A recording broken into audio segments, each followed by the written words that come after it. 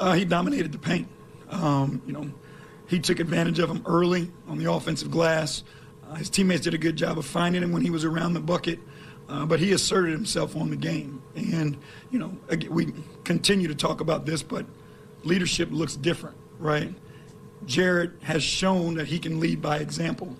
Uh, and when he plays that way, his teammates are watching and they feel it and they want to rise with him and compete with him. So, um, you know, again, he continues to lead uh, in that way, and the guys love it. I mean, they're there for him. You see them cheering for him. They're pumping him up. Um, but you know, he's he's been impressive.